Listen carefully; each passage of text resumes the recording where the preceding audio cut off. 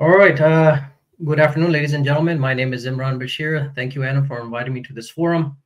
So the title of my pre my um, presentation is Quantum Computing for Engineers in a Hurry.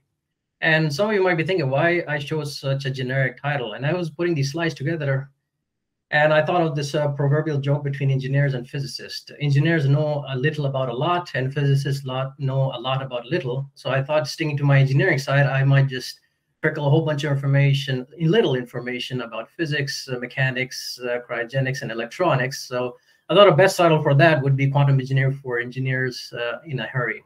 So that's the title of the talk. So before we get into the details, I want to just give you my personal odyssey, uh, odyssey into quantum computing. I got my PhD in electrical engineering in 2014.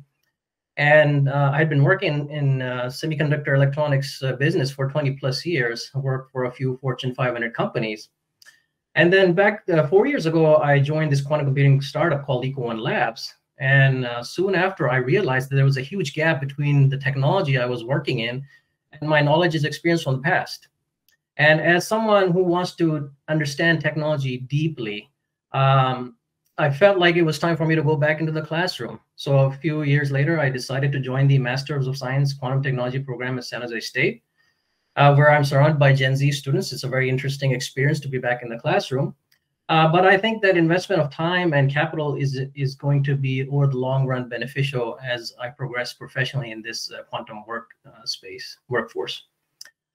Uh, so that's a little bit about me. And let's talk a little bit about Equal One Lab before we get into the details. So who are we?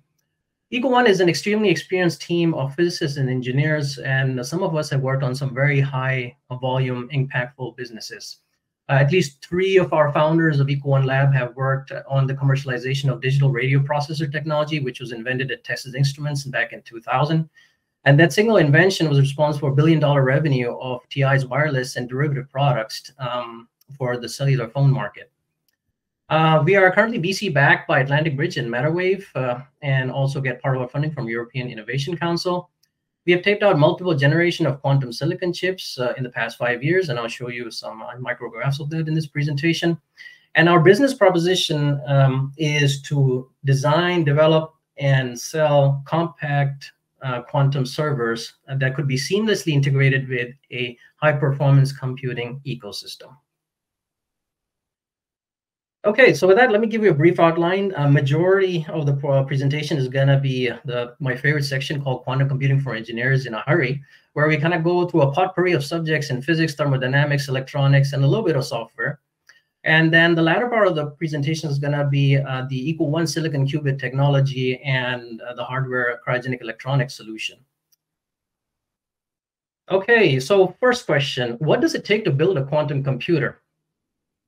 Well, why don't we look at uh, another historical monumental effort uh, called the Apollo 11 missions? Do you know that the Apollo 11 workforce comprised of over 400,000 engineers in all these disciplines?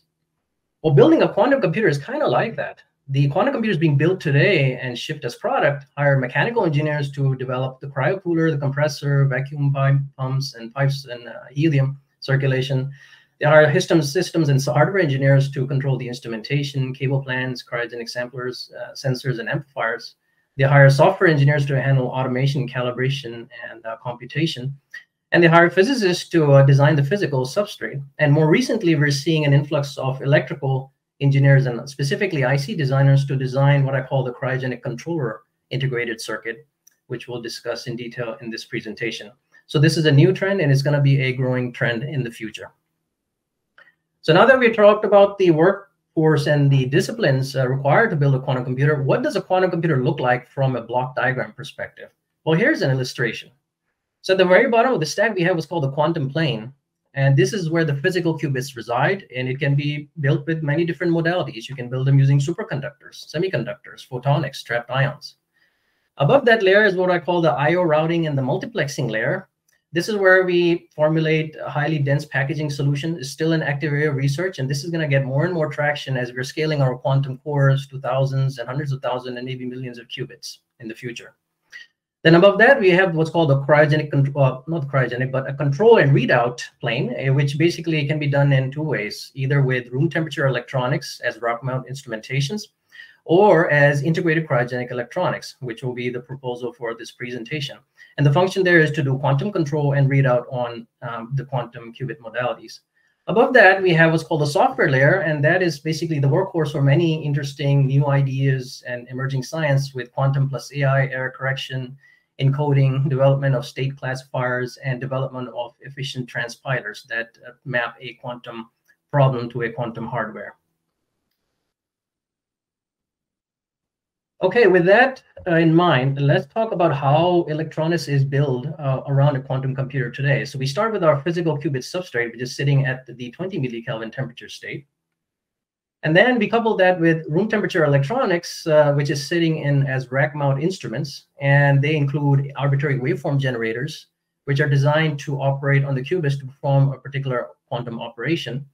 And then it has multiple receiver channels, and the receiver channel basically are designed to measure the state of the qubit, whether it's spin or is measured as current using Lock-in amplifier, or is measured as a reflected signal out of a reflectometry apparatus.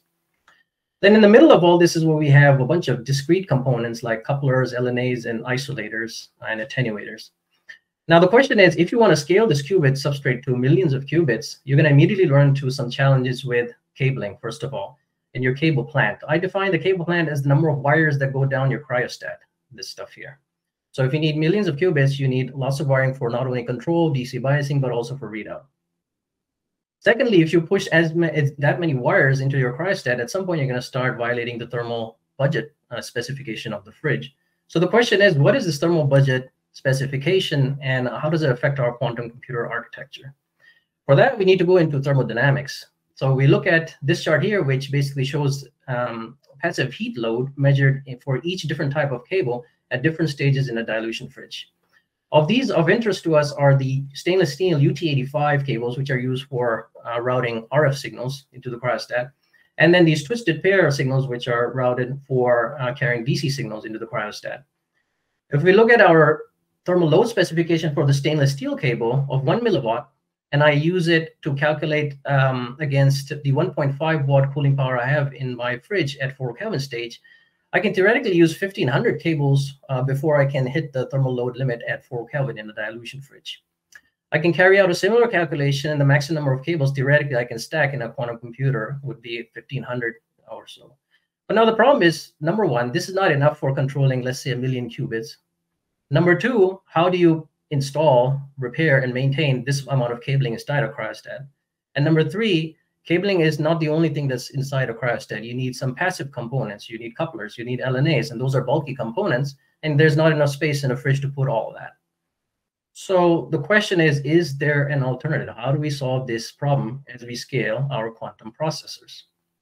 Well, the idea there is to take our current situation where we have room temperature electronics and move it to 4 Kelvin stage in an integrated circuit solution shown here. Now, with this kind of a solution, uh, we have done a couple of things. First advantage is we have dramatically simplified our cable plant, going down the cryostat from room temperature to 4 Kelvin. Number two, our cryogenic controller IC and qubit are now sitting relatively close to each other, you know, and that allows us a little more seamless control between controller and readout operation. Third, our qubit substrate is sitting at 20 millikelvin stage. Our cryogenic control IC is 4 Kelvin stage. They can be designed in their native substrates for optimum performance, and they're isolated. Fourth, we're sitting at 4 Kelvin with our control, controller IC, which gives us 1.5 watts of cooling power, and that's quite a lot. And with that, you can stack many transmit-receive chains, and that helps you in scaling your cryogenic controller IC solution for a large qubit array. Now, that said, there are a few limitations. Number one, the I/O bottleneck between the qubit array and the controller is still not solved. So you have to still think about smart ways of interfacing, developing this interface. And that would involve either doing some advanced packaging, bumping, or multiplexing. So this is still an active area of research. Okay, but then uh, the question is, is there another better solution than this? Well, that takes us from sort of a two-chip solution to a, a, single chip solution where we combine the control electronics with the qubit array as shown here.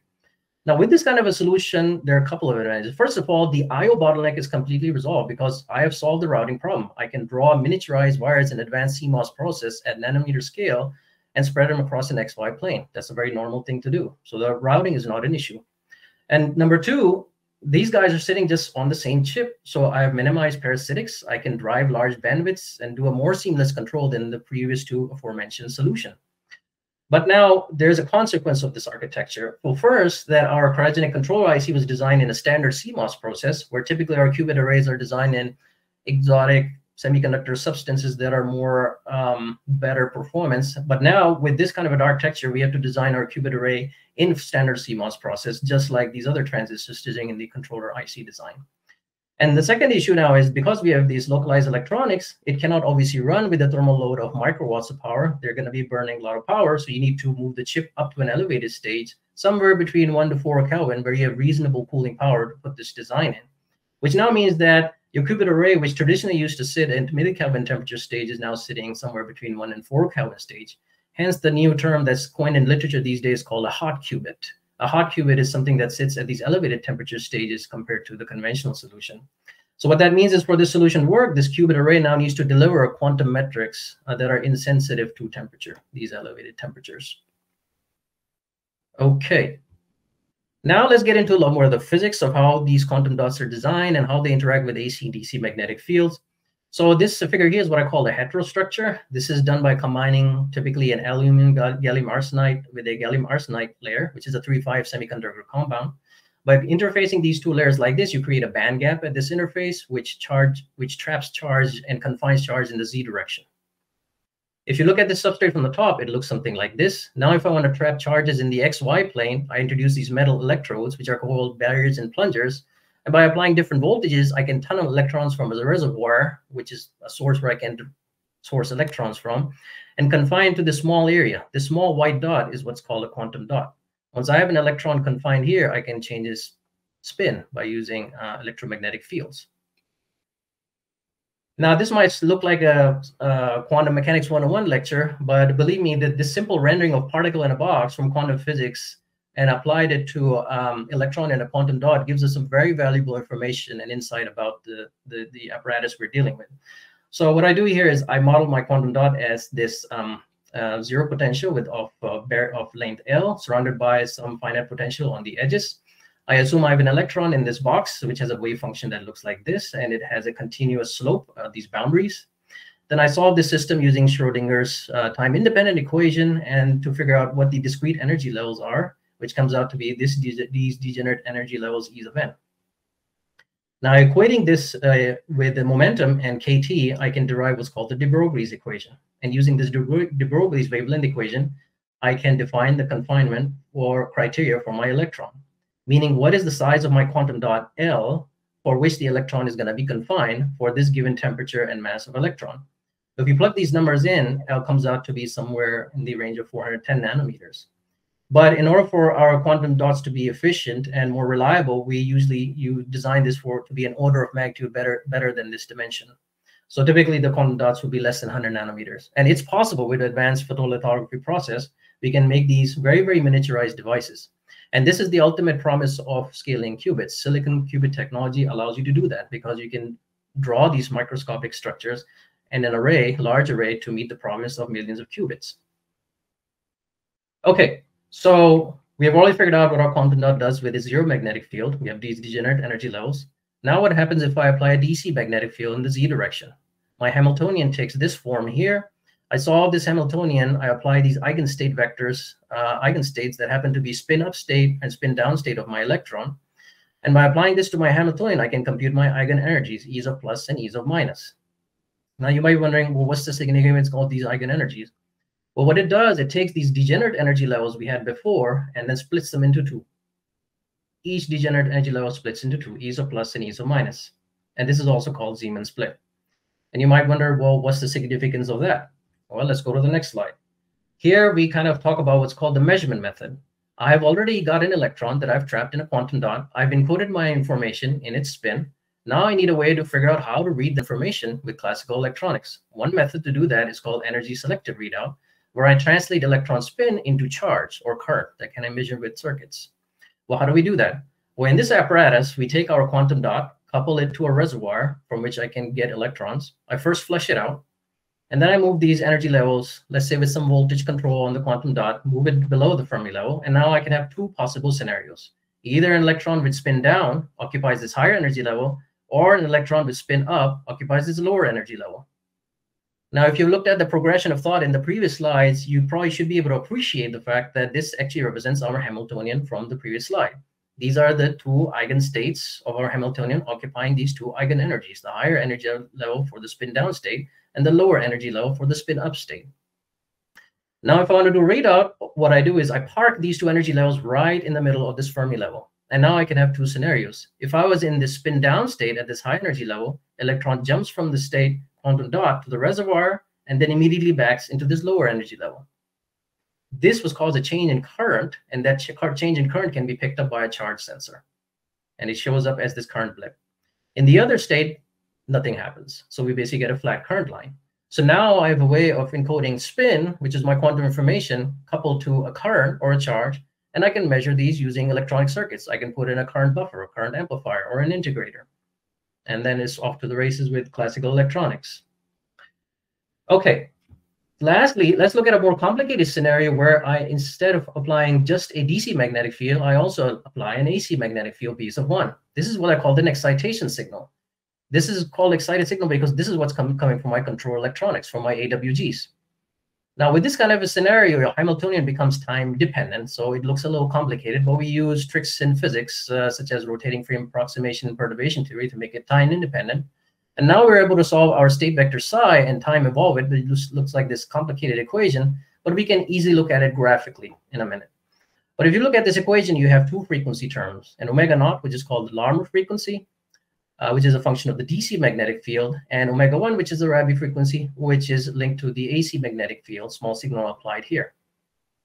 Now, the state vector animation is shown here on the top right, which is showing the trajectory of the vector as it's changing state from spin up to spin down, all due to this small excitation signal I applied. Now, a more proper mathematical representation would also include Larmor precession, but I'm not showing that here. But if you can imagine in your head, there's another rotation, fast rotation going on in the XY plane. But ignoring that, if you just look at it, now I have the ability of changing my spin state from spin up to spin down by applying this AC magnetic field. And now if I apply Born's rule, which we learned in quantum mechanics, I can compute the probability of spin down, which has this scalar term attached to the equation. And what this scalar term is dependent on is the delta W term. Delta W term is the difference between my excitation signal frequency and my Larmor frequency. If I make my excitation signal frequency equal to the Larmor frequency, the scaling term this becomes one, and I get a maximum flip between my probability of zero and probability of one, which is what we want. So in summary, I apply, in order to operate spin qubits, I need A, a DC magnetic field to do Zeeman split, which allows me to do readout of my state using Zeeman split and the energy selective readout. And B, I need a small AC magnetic field, which allows me to do spin rotation. And from there, we can go on to build different operations, gate operations, and quantum gates. Okay, now enough of the physics. Let's talk about electronics and what are we doing at Equal1. So at the heart of our chip is what's called a quantum processor unit. The quantum processor unit at the center includes a quantum structure, and here's a figure shown here. It has several quantum dots on these two rows. And around this quantum structure, we have localized control electronics. So our qubit counts range from, depending on the kind of structure we're using, from anywhere from six quantum dots or six qubits to 240 quantum dots. And we couple this to electronics, uh, 32 capacitive DACs, which act like um, charge injectors, which drive all these voltages, the barrier controls in the quantum structure to manipulate different operations. We have eight localized detectors, which can measure the state of our qubit we drive our capacitive DACs with high-speed pulse generator in order to perform different kind of spin rotations, pi operations. We also have a quantum reference bias circuit, which establishes DC voltages for all the gate controls in the quantum structure. And then lastly, we have what's called a pattern generator. The pattern generator is the command and control, which controls timing for all control electronics on the chip. Okay, so the pattern generator uh, needs a little more description because it's a very critical block in the chip. So the, the pattern generator basically is a large memory block which stores all our quantum experiment sequences, sequences in a unique address. And once we load this uh, sequence of experiments and we trigger it, it plays out that pattern on a 64-bit bus. And that 64-bit bus is basically going to all the cryogenic electronics uh, next to the um, quantum structure. And basically, we can play a bunch of quantum experiment sequences in either a staggered sequence, a continuous loop, or a fork sequence. Uh, there are variations of options here. Inside each quantum experiment sequence, we have a whole bunch of sub-operations. We either do a load operation, pre-charge, initialization operation, quantum experiment operation, spin flips, such as, and a readout operation. And these operations are pre-programmed, and we do it offline before the quantum experiment is executed in order to reduce noise uh, injected into the qubit. Okay, the quantum structure is designed using uh, similar materials, the materials uh, for FDSOI transistor. Um, the, in this case, we're using 22 nanometer FDSOI process from Global Foundry. The quantum dots are of dimension 70 by 70 nanometer in this region and in this region.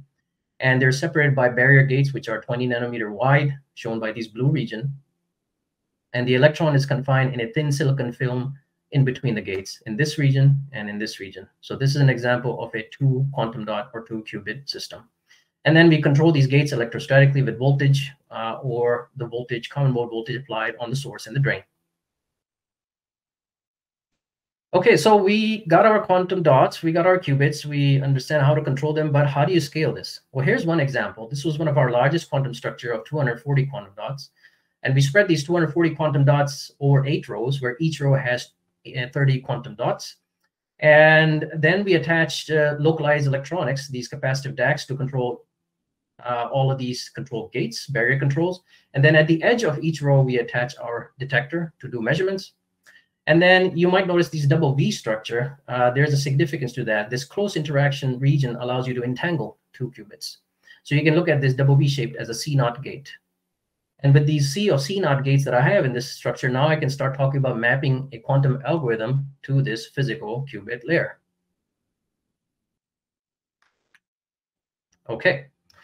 Um, so here's an IC micrograph of our chip. Basically, each quantum processor unit uh, has all these electronics, and the qubit is, you can see, is a very small area. It's only a few microns apart. Even the largest structure of 240 quantum dots only occupies something like four micrometer by two micrometer. Most of the area is occupied by control electronics. So in the north and south of the qubit array, we have control uh, capacitive DACs. East to west side of the quantum structure, we install the detectors for measurements. And then we put these in a, in a tile them in a matrix shown here, where each tile includes a different quantum experiment cell or a quantum structure. We bond the chip using flip chip and put it on a PCB like this, and the backside of the chip can be then uh, made to contact with a cold finger for cryogenic cooling. And this board then goes inside our cryostat.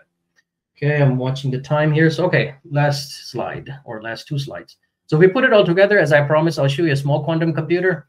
So uh, here it is on the left side. Um, and the reason why we did our own cryogenic uh, cryostat development was because we want to kind of fan these systems out across multiple sites in order to do a more efficient way of characterization of our quantum structures. So this machine here, almost desktop size, includes all the components you need for cryogenic cooling. It has a vacuum pump, it has helium pipes, it has a two-stage Gifford-McMahon cooler, uh, and a compressor. So if you see the inside the bucket where cooling happens, we have our flex line, which carries all the DC wiring and low frequency signals, and RF signals are carried over coax cables shown here. And this apparatus is able to achieve 200, uh, 3.3 Kelvin base temperature with a 200 milliwatt cooling power. And its power consumption is 1.5 kilowatt. You can run this off a 110 volt line with a 16 amp single phase current. So you can literally order these and put it in your living room to impress your neighbors. Okay, last slide. A few final thoughts. It takes a village to build a quantum computer. Mechanical engineers, electrical engineers, electronics engineers, physicists, everybody. And to be valuable in quantum workforce, it requires you to know a little bit about electronics, mechanical mechanics, physics, software, and algorithms. And for some of you who are wondering how can I get into quantum computing, it's not never too late to learn. I'm still learning, even after all these years of experience in education. Attend workshop, take classes, and immerse yourself into seeking knowledge. Because, as some wise man once said, knowledge is power. Thank you very much, and I'd like to take your questions now.